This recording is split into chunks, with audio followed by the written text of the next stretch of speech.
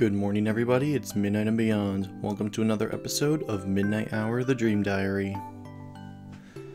So, this dream was. wasn't really emotional, but just like the people that were in it, I guess, it made it emotional. Um, I had a dream that I was going to take a shower, and then on my way there, my dog was like sitting there. And that's unfortunately not possible in the real world because she's just no longer with us. Um, I was hesitant on whether or not I wanted to make this video because just even saying her name, like, it gets me choked up, but I was honestly like thinking about her and all the other dogs I had recently, and um, I kind of wanted to talk about it, I guess. So, um, she was just sitting there, and like I just remember seeing her, and I was like actually considering like taking her with me to the shower, like to bathe or whatever. It was really weird. And then like my shower got interrupted because I got accused of stabbing my sister with a knife or something like that. But that's beside the point. Let's talk about um my dogs, I guess, because that's pretty much the entire dream right there. I only really had one dog that lived in my house, but like my relatives all had dogs and like I consider them my dogs as well. So um, as far as I'm concerned, I had like seven dogs. I guess I kind of wanted to just talk about them all and stuff because all of them are no longer here. So just talk about them and share memories with them and stuff. And hopefully I could get through it all without crying. Let's see if we could do it. So I guess I'll start with the dogs that I saw almost as often as my main one, and there were two dogs who lived with my grandma, they were her dogs, and I remember she had like a lot of dogs growing up, but like my grandma and like all her family, like they raised animals for a living and stuff, so I had like a, a history with like a bunch of other farm animals and all that jazz, but the dogs were like the only ones that like I actually knew and stuff. Um, I remember early on she had a schnauzer named Taffy, and some other dog. I still don't know what the breed of it is. It was a small white dog, short fur, and I think it was a boy. I haven't. I never even met this dog, or I never met Taffy or this other dog. This dog's name was Q, just the letter Q. Um, I knew Taffy from photographs. I don't think I've ever seen a picture of Q. Um, I know of Q's existence because in my grandma's basement there's a chalkboard and like in faded out letters you could see like faintly see something that says Q is the best dog. And I asked them who Q was. And I don't know like I know the breed because um it was the same breed as another dog that I did know and that dog's name was Pokey. I don't know if Pokey was uh, Q's child or not but uh, Pokey was the one I knew and then there was another Schnauzer that I knew her name was Shotzi and those were the two dogs that lived with my grandma that I always saw whenever I went there. I saw Shotzi more than Pokey because Shotzi was an indoor dog and Pokey was always outside. I don't know why both of them didn't just stay inside, but that was how it worked, I guess. I remember being afraid of Shotzi a lot when I was a kid because whenever you went to the door or whatever, like when we first showed up, she would start barking. That just scared me, but she never actually did anything. She just barked when you showed up and barked when you left. And so I was afraid of her a lot um, growing up. Pokey I liked, but I didn't see her as often because she was outside and like we weren't really allowed to go outside, I guess, whenever we visited my grandma's house. But um yeah, I remember the two of them and stuff. Probably my strongest memory of Pokey was that she was the first dog I ever saw that had a, to get a cone, the cone of shame as they called it up. I know I just thought it was funny, but also I just felt bad for her. And eventually she got it off, of course, but Pokey I think was also the first dog I ever experienced dying, and that was not easy. I don't remember it too clearly nowadays, but I can only imagine like how difficult that was when it first happened. But she died when I was very young. And Shotzi, God, when did she? I, I think it was sometime during high school, maybe. It was either in high school or in like eighth grade. I can't remember. Shotzi had cancer, I'm pretty sure, and and we kept her alive by giving her shots, shots for Shotzi. I know. Um, like we gave her shots and stuff, the things that she needed every day. Like we came over to Grandma's house every single day because she wasn't able to give her the shots, and like it was the morning and night and everything. And Shotzi did not like those shots, so like it was not the easiest thing to give her every day. But eventually she just like she lost the energy to even resist the shots anymore and like it just was not helping. So unfortunately, like we had to say goodbye to her. And that's was not fun. It was not fun at all. Uh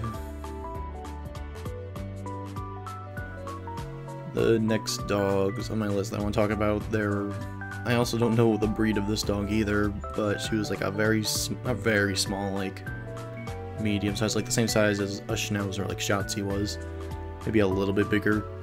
She was a fluffy, very fluffy black dog. She had like white paws and maybe white around her, like her face, but most, mostly she was just black. Her name was Sarah. She was um, my aunt and uncle's dog. I really got to see her as well because I didn't always go over to my aunt and uncle's house, like not nearly as much as my grandma's house. And she was nice whenever I saw her. I honestly I can't remember her too well. I don't know why. Like I remember she was nice. I don't have any bad memories, but like she was a really good dog and and I just wish I could remember like more details, like any memories or whatever. I just know that she was nice whenever I saw her. And I remember my uncle loved her so much. She meant the absolute world to him. And I remember the day that she had to go, like he took the entire day off from work and just stayed with her for the last day. And a while later, I don't know how much later after Sarah passed away, but my aunt and uncle got another dog after that and she's a yellow lab named Lily, and she's still alive. I'm actually, the reason I'm talking about this still is because I'm actually house sitting her right now and babysitting her. She's hanging out at our house. And she is super nice, and she was a rescue dog. Like, when we first met her, she was all skin and bones. And I remember, like, they brought her to our house like the day they got her and like she just laid on the living room floor for like three hours and I stayed with her the entire time and uh she's she's much much much better now like a completely different dog and she is she's very nice so I'm happy to be taking care of her and stuff. So I guess the next dog I could think of was my uncle's dog, my other uncle. Uh, this is the only boy dog I've ever had. Um, he was a beagle and his name was Bill. And I didn't really see him all that much because I didn't go over to his house either all that much, but um, Bill was a really nice dog. Like, he was like the nicest dog you could ever imagine. Like, he was just like old, like not really late, I guess kind of lazy, just quiet, laid back, everything. Probably my favorite thing um, about like his house and where he's set up and stuff. So Bill lived in a dog house, but um, he was still on a leash so he wouldn't run away or whatever. But the leash wasn't attached to the ground or anything like that. So his house was like under a tree, and then like a few feet away from that tree was the actual house that my uncle lived in. And there was a clothesline that connected from my uncle's house to that tree. And the dog leash was attached to the clothesline and then to Bill. So Bill, like instead of just being attached to the ground or whatever, his leash was attached to the sky and he could walk from his house up to up the stairs to my uncle's house if he wanted to, if he needed to go inside for whatever reason, it was raining or whatever and it was just a really cool contraption. I remember it was really cool. And like whenever I saw him, like whenever I went to his house, I would always go and see him because he was just the nicest dog ever. And one day we just got a phone call from my uncle saying that he had to bury him because he passed away. So just completely out of nowhere. So that just wasn't fun to hear, obviously. And then these next two dogs, this was, um, these dogs belong to my other aunt in California. Um, I obviously got to see them because I, it's not every day I go out to California, but they were nice to me every single time I went out there. Uh, their names were Casey and Maggie. Casey was a black lab, very big and stuff like Lily. And Maggie was a tiny little wiener dog. And they were like, like you think they would fight or whatever, or they would be afraid of one another or something like that, but no, they were best friends. Like they loved each other so much and like they went everywhere together and they protected each other. And they were really nice. Like Casey just always wanted like petting and cuddles and stuff, but she was like so big and she was like ram into, not really ram, just like walk slowly into you, just walking forward and forward. Just get as much cuddle time as possible. And uh, Maggie, like also, like sometimes she would jump up and like, it was just the funniest dog ever, seen a wiener dog and stuff. Um, I remember whenever I slept over their house, um, Casey would sleep with me. Like, and it was just a very nice feeling to have a dog sleeping with me and also just like such a huge dog. It was really fun. And probably like the most memorable thing about Maggie was um, one time they were let outside. I think it was just Maggie who was left outside. Um, it had to have been both of them. I don't know. When like my, my aunt and uncle and like their family, they went out and like did errands or whatever.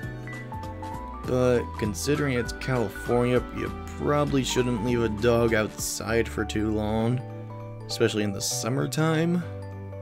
So when they got back, they found Maggie, and she had. This is gonna sound really scary at first, but trust me, it's not as bad as I'm gonna make it sound. She had a hole burned into her. I'm sorry I'm laughing at that, but like, it's not an wasn't an actual hole. Like it was a big circle, like the size of like like your hand if you like make it into a fist or something like that. But it wasn't like burn like she didn't open up or whatever. Like all her fur in that one big circle was gone and stuff, and like the skin was burning. So that was scary to hear about and stuff. I wasn't there when that happened, but it was a scary thing to find out about. And then next time I saw her, she still had that big block, like big hole of fur missing, and she never got it back, so the rest of her life she just had that big circle. And it didn't hurt after the fact, but lesson learned, don't leave your dog outside during the summer if you live in California. Um, so, yeah, it was just really weird and scary when that happened. And I think Maggie was the most prominent one of aging. Like, she was the one I was able to see age the most. Like, even though I saw, like, Shotzi go through, like, cancer and being sick. Um, Maggie, like, her fur got very light, like, as time went on. Like, I remember her, like, when I first met her, she was very, like, a dark golden brown. And then, as time went on, she became very pale, very light brown. And eventually Maggie passed away and I heard about it and was very heartbroken. And Casey was also very heartbroken, like she would just wander the house looking for her, and then when she couldn't find her, she would just like not do anything, she would just lay there. And eventually Casey passed away as well. So, yeah, all my dogs are kind of gone at this point. Lily's the only one who's left, but like She's not one of the original group, but I still love her and stuff, but of the original group, um, they're all gone. And the most painful one out of that group was my was my actual dog. Um, and I saved her for last, and I'll try to talk about her maybe. So she was a beagle, and her name was Cindy. And I, I have not said that name in so long just because I'm always terrified to say it because of how like, cold it makes me feel and scared and everything. Um, let's see. She was just as nice as Bill was, like, Cindy was the nicest dog in the world, but then somehow Bill one-upped her in that even, but still Cindy was the nicest in the world, like she was perfect. Um, as a kid, I wasn't really too crazy over her because she didn't, like, play with you all that often, she just sort of slept a lot and um, she didn't know any commands, she didn't play fetch or whatever. And, but now I nowadays I realize just how perfect she was and I really wish I could have appreciated her more back when she was still alive.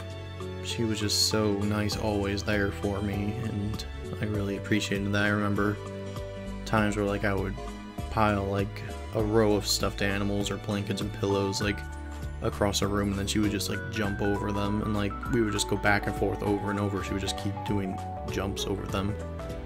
It was really cool. Um, she never barked, she howled, like, sometimes, but she never actually barked. And um, there were times, like, I don't know what she was trying to do, but, like, very rare occasions she would, like, try and get up on two legs, and, like, she'd use her front paws to, like, grab your leg and everything. And she would, like, try standing up on two legs and stuff. I don't know what she wanted to do. I don't know if she wanted to dance or... Like, that's what we usually did. Like, we just dance with her, but, um... It was fun. Um, probably like one of my more famous stories was I got a donut from Dunkin' Donuts. Uh, it was a chocolate glazed donut. And then I brought it home and I was sitting on the bed. And then I turn around, like, I wasn't really paying attention. The donut was just sitting on the bed. And then I turn around for like a minute later. And I see that she had already eaten half the donut. And I got so terrified that, like, because dogs aren't supposed to eat donuts, so I was afraid that she was going to get so sick, and I was just so worried. But she never got sick from it, and from that point onward, I just, I vowed to, like, never have a chocolate glazed donut ever again, just because, I don't know, it just reminded me of, like, that terrifying moment of almost hurting her and stuff like that. But now that she's gone, I only eat chocolate glazed donuts just because they remind me of her. Um, and there was this one time where on like our whole family went on vacation and Cindy had to go to like a kennel or whatever so to watch her while we were away. And our grandma was supposed to pick her up when we were coming back. I don't know why we just didn't get her, but um she went ahead and got her and when we came home we saw our dog a dog in the backyard and it was a beagle, but it wasn't Cindy. So my grandma had gotten the wrong dog at the kennel, so we were all worried like something had happened. And, um, we just went back to the kennel and like she was, she was still there, she just got the wrong dog by mistake, so that was scary. And another scary point was the only time she ran away from home. Like, she's not fast. Well, no, she was fast, like in her, in her better years. But um, there was one time where the the leash, I guess, what that we just tied her to when whenever she was outside or whatever, it broke. Like it completely snapped. Like not the leash part, even like the metal part, like the clip snapped off of the rest of the chain. So that was interesting, like how that worked out, but like she was just gone. Like, I don't think we were home. Okay, yeah, I remember. So we weren't even home when it happened. We just came home and we saw a message on our machine from our grandma saying that someone found our dog and we are like, what are you talking about? And we like looked outside and she was gone and the chain was broken and we were terrified like what the heck is going on like she had apparently like ran to my grandma's house not like at my grandma's house but like um around that area which is like a mile away from our house and i'm just like amazed that she didn't get hurt or whatever and like she like climbed hills, like assuming like the way she could have gone. She either went like through a forest and like up and down crazy hills and through rivers and stuff, or she went through the road, which is dangerous. But somehow someone found her and we got her back that same day, but it was really terrifying. Uh, but eventually she also got cancer and it was just really terrifying because it took so much energy out of her. And her tumor um you actually got to see it grow. It was like in her tail like right at the uh, top of it like near her butt and like tail like where that connects um you just saw this giant ball grow in that in that area it grew to like the size of a tennis ball, like bigger than that even. It was really scary. And um it was just a very hard time to go through. And she would just keep throwing up more, she wouldn't eat, she wouldn't drink. And then eventually the decision was that she had to get put down. It was around my freshman year of high school. And it was not easy It was not easy at all. And, um, it's not a replacement, but I have this Beagle plush now that sort of looks like her. We've had this plush in the house for like so many years, but um, I have it with me still. I keep it in my bed, and um, it wears Cindy's original collar and has all of her dog tags and everything like that. I also have Shotzi's collar, but I'm pretty sure my grandma has the dog tags. And Shotzi's collar is with a collection of photographs of just all my dogs, and then Cindy is just over here, like in spirit, I guess. I've only had like two dreams of her, like ever since her passing. Like, one of them was this one right here, and the other one was like a bunch of years ago. I dreamt that she just came back to life, and I was so overjoyed. Those are the only dreams I can even remember of her. So yeah, those are my dogs. And they're all gone.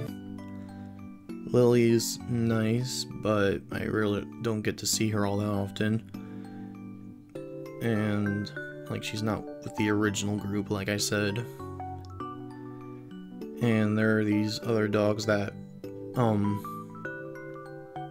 were brought into the house that um, right after Cindy passed. Like one of them was gotten right when Cindy started getting sick, and she was meant as a replacement, and the other one was gotten right after she passed, and it was literal days.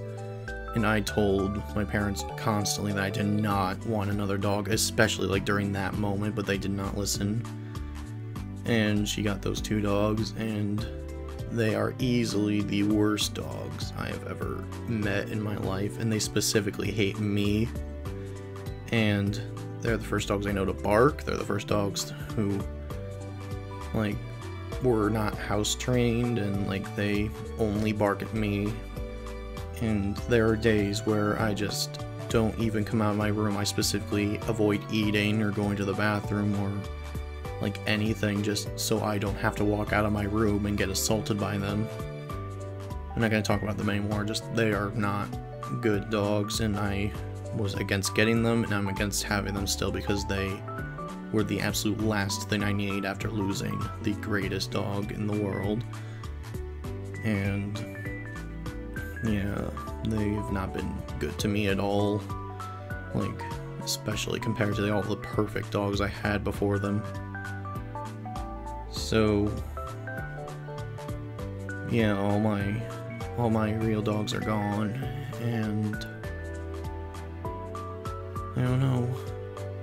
It's sad. I just missed them a lot and for the longest time I just didn't want any more pets after that. Like all of them were gone and the farm I had growing up my family had um my grandmother had taken care of that farm. She's no longer with us, so that farm got shut down. All the animals are gone now. So,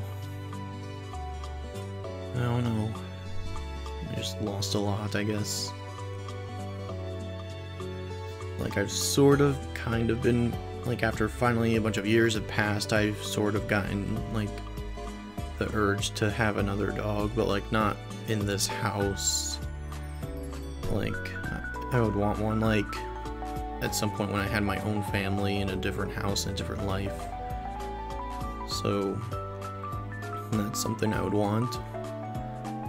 Um, my favorite, well, my favorite dog breed, I guess, um, I guess now it's Beagle just because of all the memories I have with Cindy, but, um, growing up I've always wanted a pug because I just love them so much and they just look super adorable.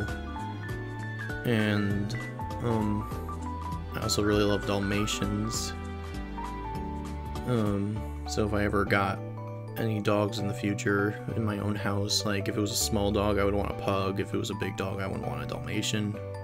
Um, not right now. Like, I'm sort of, I guess, sort of ready for a dog in general, but like, just not in this living establishment. I do not want a dog here. So, sometime in the future, maybe. I'll be ready for it. It's been like a dream project of mine too. Now that all of them are gone, I wanted to hire someone to make a painting of all my dogs. Um, a friend of the family, I don't even know who it is, um, they painted a picture of Cindy and it's in her house and it looks really nice. And, um, I don't know if I could contact them about it or I've had people online that I've considered like contacting but I just never got around to it. And it's also probably gonna be expensive, but I really wanted it to happen. And the thing is, it wouldn't be a photograph though, because there's never been a photograph of all seven of them together. They've never been all together at once. But um, so if they could like make new poses for them or whatever, and I just gave them a picture to base them off of, and base the designs rather, not the poses. But I know, that'd be really cool if we could do that. That's still something I really wanted to do. But yeah, I guess that's it really. Just wanted to tell you about my dogs and stuff. Um, I appreciate Lily, but, um,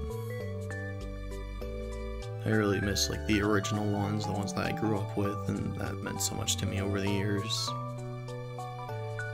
So, I just wanted to make this video to say thanks for everything. Casey the Black Lab, Maggie the Wiener Dog, Bill the Beagle, Sarah the I don't know what you were, Pokey the I don't know what you were, Shotzi the Schnauzer, and Cindy. My Beagle, my best friend. Sorry if this one was a downer, but um, I just thought it would be possibly okay to talk about it. Also, sorry this one's 30 minutes long. Uh, if you want to talk about your pets growing up or the ones you have right now, feel free to do that. Or if you've had any dreams recently that you'd like to talk about, feel free to leave them in the comment section below. But otherwise, I will see you guys next time for another episode of Midnite Hour The Dream Diary. Thank you all for watching. This is Midnite and Beyond, and I will see you all later. Good night.